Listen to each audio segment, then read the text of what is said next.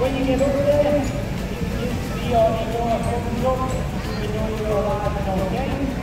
And always use the exit or the exit sign to meet beforehand.